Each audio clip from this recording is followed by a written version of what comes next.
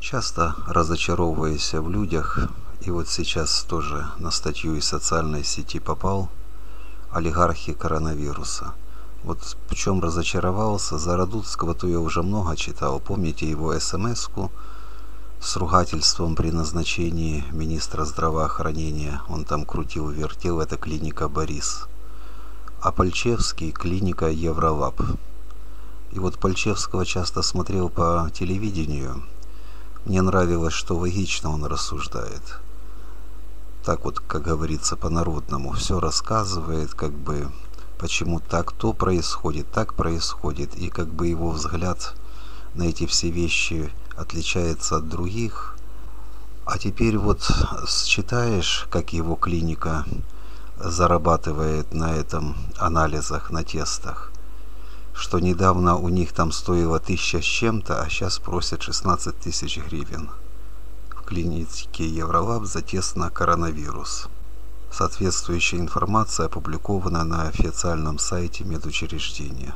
И тут они стали ссылаться на то, что какой-то ПЦР тут еще что-то такое. Но факт, что в Китае тут тест стоит там центы или может один доллар, сама вся та ну, набор тут тестовый, а тут такие цены.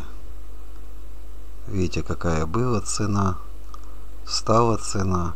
И то есть он нам как бы все вещает, а теперь задумываешься, а не манипулирует ли он мнением, к примеру, выпускает пар. Что вот так вот берет острые темы, немножко их обкатывает и типа потерпите люди, в следующей жизни наступит хорошая жизнь.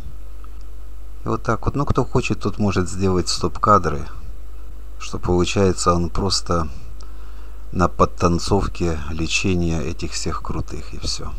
Имеют вход все те высшие кабинеты, обладают необходимой информацией и выступает в телепередачах. И вот это такое разочарование.